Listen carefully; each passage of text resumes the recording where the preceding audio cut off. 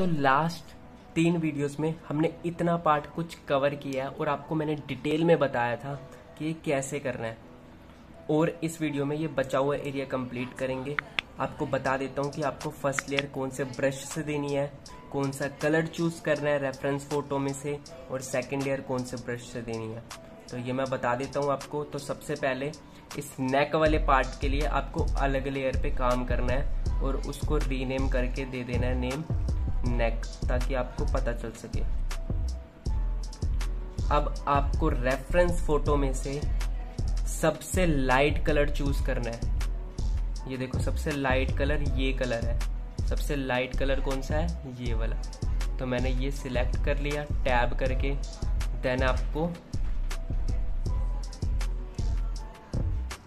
Pen fade की help से first layer देनी है। पेंट की फ़र्स्ट लेयर देनी है। और ये जो कलर बाहर जा रहा है, इसकी टेंशन लेने की कोई ज़रूरत नहीं है आपको। ये इरेजर से हम जल्दी से रिमूव कर लेंगे फटाफट। और ये सारी चीज़ें आप फिंगर्स की हेल्प से भी कर सकते हो इजीली मैंने लास्ट वीडियो में ये भी करके दिखाया आपको फिंगर की हेल्प से।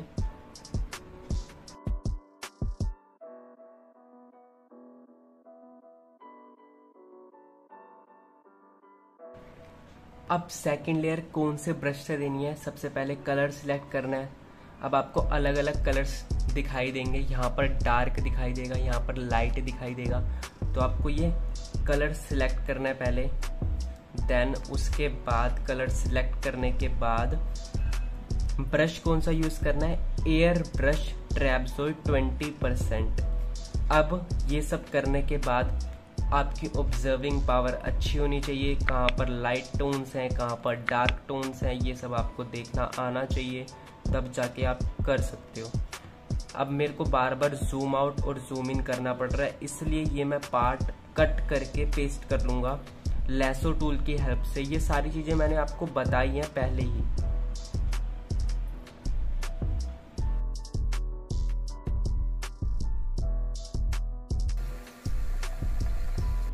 तो ये पार्ट मैं कट करके ले आया हूँ कॉपी करके। यहाँ पर मैंने पेस्ट कर दिया इस पार्ट को। अब मेरे को बार बार जूम आउट जूम इन नहीं करना पड़ेगा। यहीं से मैं कलर सिलेक्ट करूँगा एंड देन देख देख के करता रहूँगा। क्योंकि आपके पास कोई दूसरा फ़ोन नहीं होगा। जैसे आपके पास स्केचिंग में तो होता है। आप पेपर पर स्केच कर रहे होते हो और आपको फ़ोन में से रेफरेंस फ़ोटो दिख रही होती है। तो यहाँ पर कोई हमारे पास दूसरा फ़ोन नहीं होगा। हम फ़ोन में ही डिजिटल आर्ट कर रहे हैं। तो इसलिए ये प्रॉब्लम आती है। तो यहाँ से अब मैं कलर सेलेक्ट कर रहा हूँ। कलर सेलेक्ट करने के बाद एयर ब्रश ट्रैप जो ट्वेंटी परसेंट जैसे मैंने आपको पहले बताया। अब यहाँ से शेड्स देना स्टार्ट करना है आपको।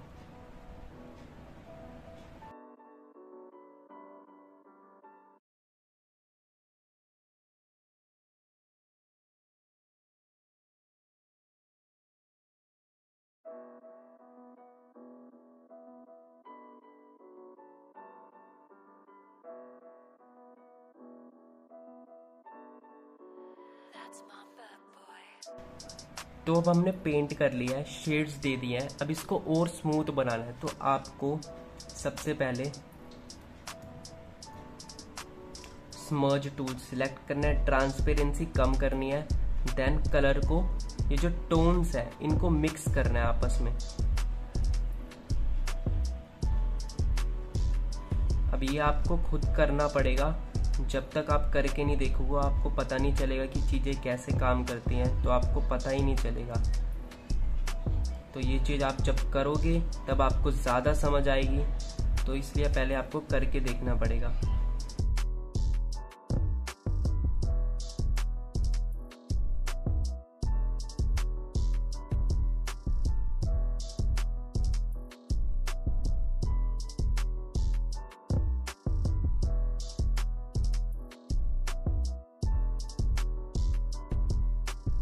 तो आप देख सकते हो शेड्स अच्छे से दे दिए हैं।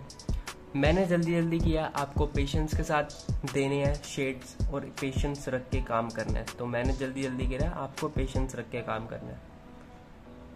तो शेड्स दे दिया स्मर्ज भी कर दिया कंप्लीट हो चुका है ये एरिया अब हमको क्या करना है, ये जो कॉपी किया हुआ एरिया है, इसको रिमूव करना है पहले। डिलीट कर दिया देन नेक वाली। लेयर सिलेक्ट करनी है आपको. देन ये जो पेंट बाहर आ रहा है, इसको रिमूव करना है.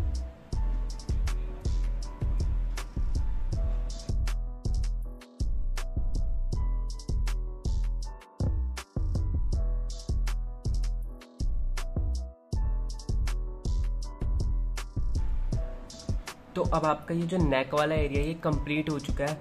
अब ईयर्स पर बढ़ते हैं. तो ईयर्स पे भी सेम वही प्रोसेस है। सबसे पहले मैं क्या करूँगा लेसो टूल की हेल्प से ये इतना एरिया कट करके यहाँ पर पेस्ट कर लूँगा ताकि मेरे को जूम आउट जूम इन ना करना पड़े पहले। और एक चीज़ का ध्यान रखना, जब आप ये लेसो टूल की हेल्प से इतने एरिए को कट कर रहे हो तो आपने रेफरेंस वाली लेयर जो जिस लेयर पे आपकी रेफरेंस फ़ोटो है, उस लेयर को सिलेक्ट किया हुआ आपने। तभी आपका वो एरिया सिलेक्ट होगा। तो लेसो टूल सिलेक्ट करना है। अगेन ये एरिया कॉपी कर लिया मैंने।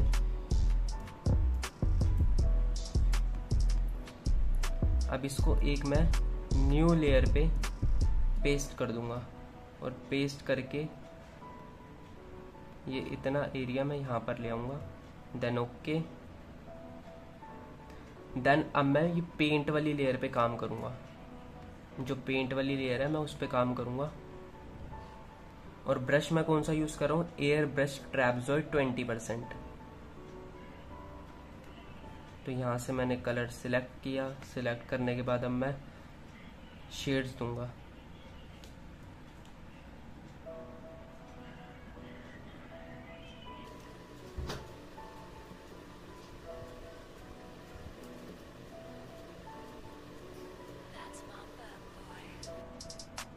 और ये सारी चीज़ें आपकी ऑब्जर्विंग पावर पर डिपेंड करती हैं कि आपकी ऑब्जर्विंग पावर कितनी अच्छी है।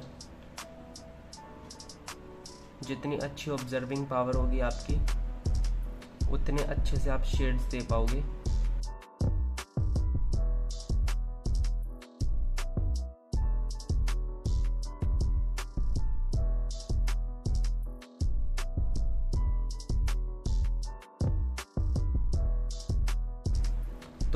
ये कान वाला एरिया भी कंप्लीट हो चुका है। बस इसमें हाईलाइट्स देनी बाकी है।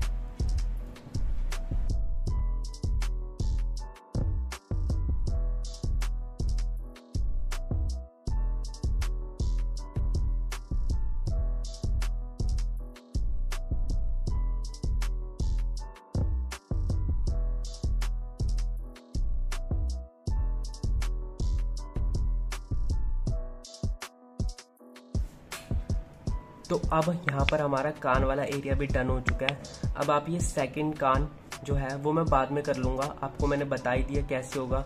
तो अब हम कैब वाले एरिया पे बढ़ते हैं, क्योंकि अगर मैं इसको करने लग गया तो वीडियो की लेंथ बहुत ज़्यादा लंबी हो जाएगी।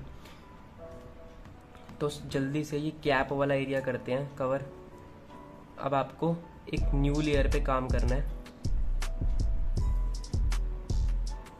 और उसको रीनेम दे देना है कैप मतलब जितने नए नए ऑब्जेक्ट्स आएँगे, उतनी लेयर्स आपको क्रिएट करनी पड़ेगी। क्योंकि आप एक लेयर पे सारी चीज़ें नहीं कर पाओगे। अगर एक लेयर पे सारी चीज़ें करोगे तो आपको दिक्कत आएगी आएगी। कलर सिलेक्ट करने के बाद आपको पेन फेड ब्रश लेना है। देन आपको स्लोली स्लोली कलर फिल करना स्टार्ट करना है।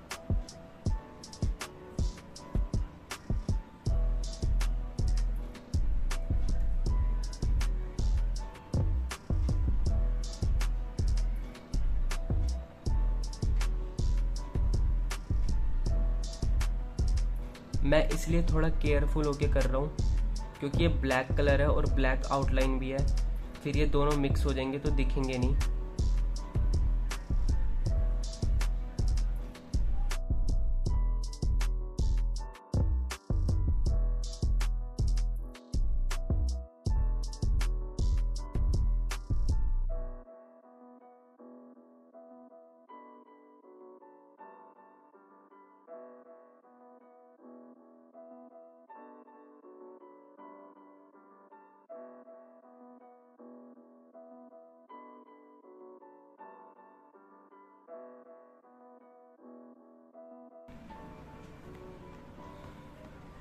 अब क्या करना है? ये जो हाईलाइट्स हैं, हमको ये देनी है। तो सबसे पहले कलर सिलेक्ट करना है।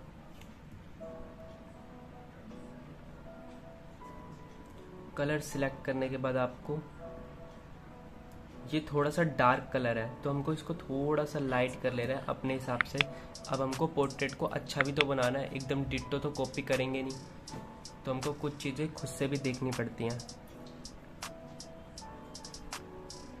अब आपको इस हाईलाइट्स के लिए वही ब्रश यूज़ करना है एयर ब्रश ट्रैपजर ट्वेंटी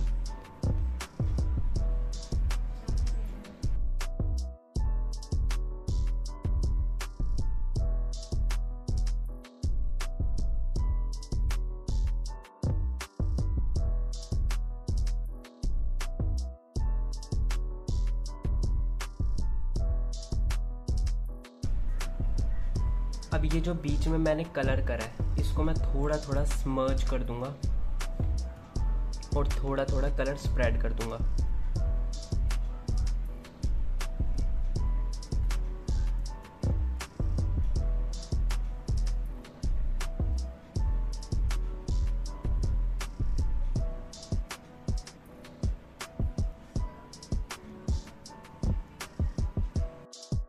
अगर आपको स्मर्ज टूल अच्छे से यूज़ करना आ गया तो आप इसका बहुत अच्छे से फ़ायदा उठा सकते हो शेड्स को मेंटेन करने में एडजस्ट करने में। ये देखो, पहले ही कितना भद्दा सा लग रहा था, अब थोड़ा ठीक हो चुका है। तो अगर आप पेशेंस के साथ करोगे ना तो ये और भी अच्छा बनेगा। मैं जल्दी जल्दी कर रहा हूँ, इसलिए ऐसा हो रहा है, लेकिन आप पेशेंस के साथ करना, सब बढ़िया बनेगा।